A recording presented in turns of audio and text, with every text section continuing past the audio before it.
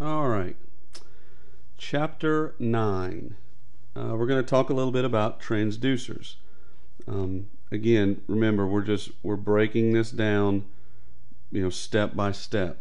So we talked about, you know, all these frequencies and PRPs and PRFs and who makes them and blah blah blah blah blah. Well, you know, it all starts from the transducer. So this chapter is devoted to basic transducer construction and transducer frequencies. And we'll we'll dive a little bit deeper into you know the real nitty gritty on these transducers, I guess, if I really use did I really say nitty gritty? That's awful.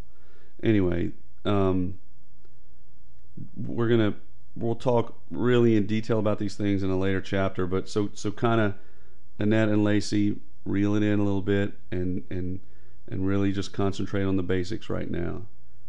Had to pick on you, sorry.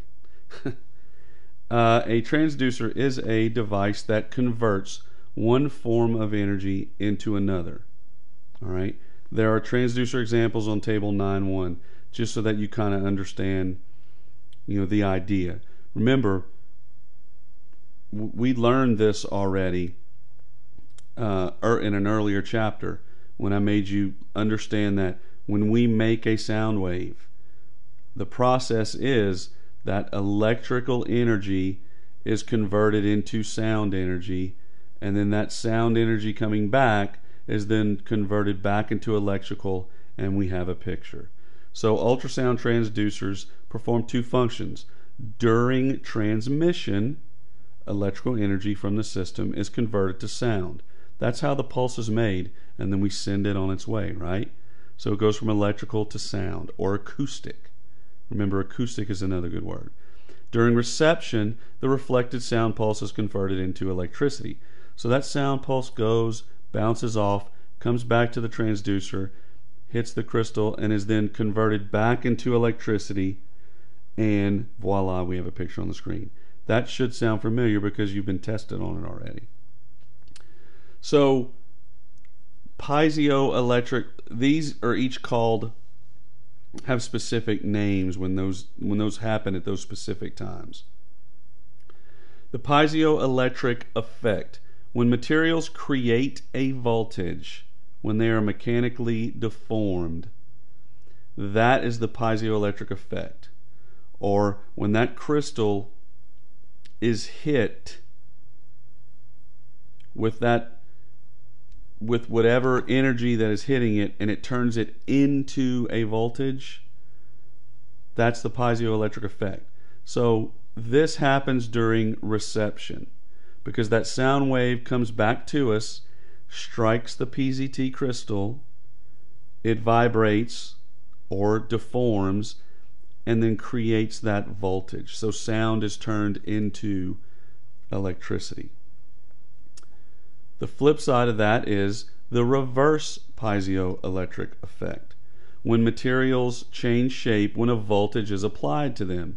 So we know that when we make a pulse, that electric current goes through the wire, strikes the probe, or strikes the crystal, I'm sorry, it deforms or vibrates, creating a sound pulse.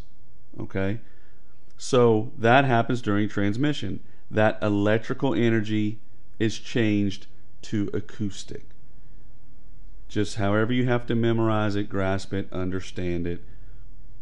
That's what the each effect is called when you break down that process into transmission and reception. So again, this is the dirty picture that everybody laughed at in class. We have the electrical impulse striking the crystal, it vibrates, turns into a sound beam. Hits the organ, comes back, strikes the, the crystal, vibrates, turns back into electricity. So understand which one of these is the piezoelectric effect and which one is the reverse piezoelectric effect.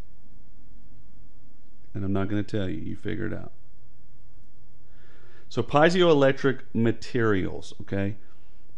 Piezoelectric materials actually have that capability of converting sound energy into electricity and vice versa.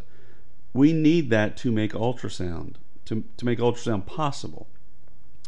Uh, it's also called ferroelectric. Just understand the two terms. It's the the ability to either create to make electricity into sound or sound into electricity.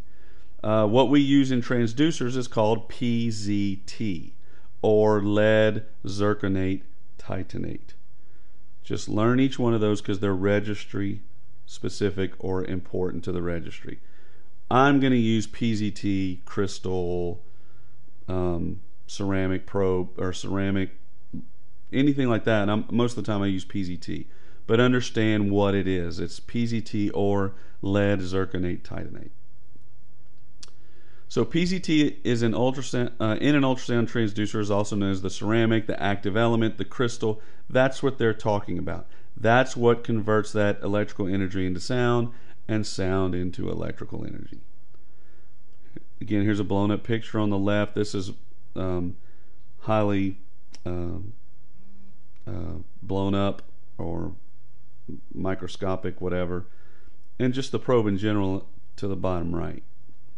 So, basic transducer construction there are seven basic components there's a case, electrical shield, acoustic insulator, the PZT or active element or ceramic, whatever you want to call it, the wire, the matching layer, and the backing material or damping element.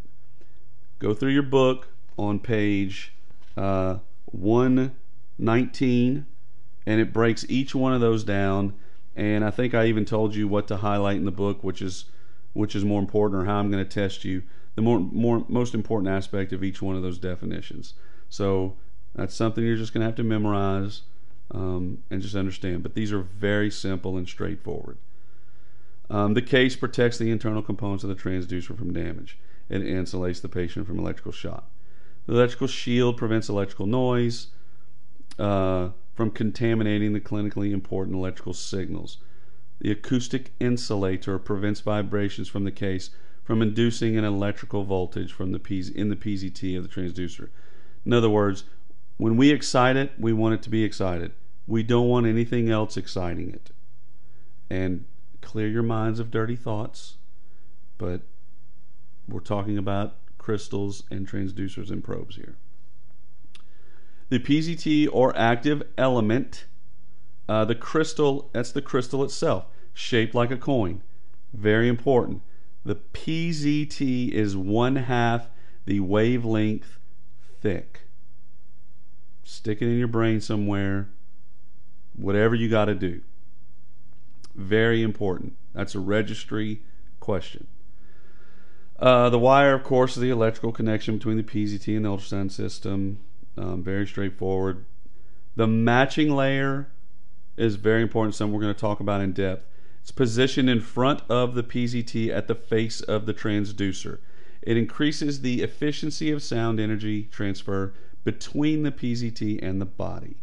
It also protects the active element. Very, very important. It is one fourth the wavelength thick. Stick it in your brain somewhere. Whatever you have to do. It is now one fourth. The matching layer is one fourth the wavelength thick. So if I ask you which what is one half the wavelength thick, you're going to know what? PZT or active element. If I say what is one fourth the wavelength thick, the matching layer. Know those. The backing material or dampening element reduces the ringing of the pulse. It restricts the extent of the PZT deformation. We control it. Remember, we want less ringing. And what does less ringing do? Give us shorter pulses, which enhances what? Axial resolution. So let's talk about the matching layer we recall that the differences in impedance result in reflection at bound, boundaries, right? Larger reflections occur with greater impedance differences. We learned that the last chapter. Impedance of PZT is about 20 times greater than the impedance of skin. So we have to we have to have a bridge, right? Otherwise, we would have these giant reflections and sound would never be transferred into the body or transmitted into the body. So if sound if the sound beam traveled directly from the PZT to the skin, a vast majority of the intensity would be reflected back into the PZT and never into the body. We'd never have an ultrasound picture. The matching layer provides us with an impedance that is between the active element and the skin. Remember, it just bridges the gap. This decrease decreases reflections at the PZT and skin boundary. Therefore, a greater percentage of sound is transmitted between the active element and the skin. But we need one more step. We need to complete the bridge. So, remember, we use gel. So the gel then falls between the impedance of gel is between the matching layer and the biologic media or the skin. That completes the gap. We can now transmit all of that ultrasound. Gel further increases the percentage of sound transmitted in, into and out of the body. We're coupling or we're we're we're putting together or we're we're bridging the gap. However you want to learn that word, we're basically bringing everything together so that we have complete transmission of our ultrasound beam from the PZT through the matching layer, through the gel, and into the skin. Uh, the matching layer and gel increase the efficiency of sound transfer between the PZT and the skin, decreasing order of impedance. I'm sorry, I misspelled that. So you have the PZT, the matching layer, the gel, and the skin. And it without the matching layer and the gel, obviously there's a great difference of impedance. So you'd have reflection. So we stick the matching layer in there and the gel, and voila, we have transmission. Whoa, look out. All right. So the matching layer is one fourth the wavelength thick. We said how important that was, right? The active element of the PZT, or PZT, I'm sorry, is one half the wavelength thick. Remember that. That's those are very important statements. Table 9.2 tells us that. Uh, just simply know I can only ask one way, right? You just have to understand it. So check that out in the book.